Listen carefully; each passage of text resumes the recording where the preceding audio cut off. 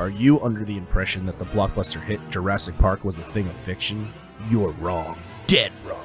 It was actually found footage that was expertly edited by Steven Spielberg.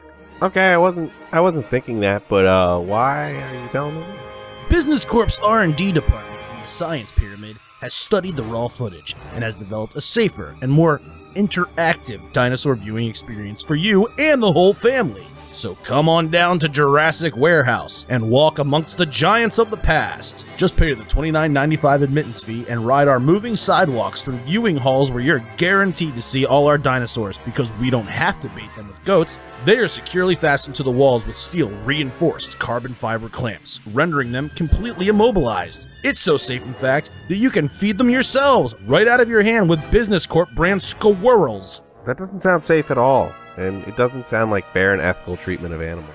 You can buy one squirrel for $5 or three for 10 and load them into the squirrel hurl. So you can fire them at the dinosaur's mouth. If your aim is steady, they should be able to snatch them out of the air.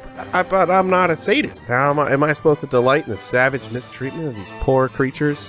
Once you reach the end of the viewing halls, the sidewalk will deposit you at the entrance to Jurassic Warehouse Petting Zoo. No, no, no, that sounds absolutely terrifying. No need to worry, Dad. All the dinosaurs in the petting zoo have been hobbled, blinded, declawed, or taloned, and all their teeth have been knocked out. You can do anything you want to them at this point. Um, I'm a representative of Don't Harm the Marmot. You can find us at don'tharmthemarmot.org, and I'm appalled at the mistreatment of the squirrels that you were using as feed or fodder. Didn't you hear the part where we nail dinosaurs to the wall and leave them for dead in a room for people to manhandle?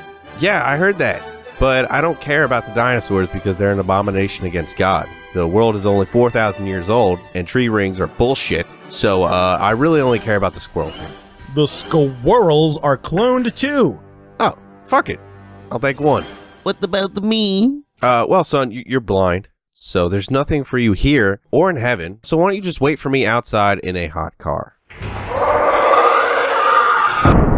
What is an abandoned blind Puerto Rican boy to do? Stranded in the premier resort destination of Compton, Long Beach, California, Maryland, where you can see it all in an afternoon.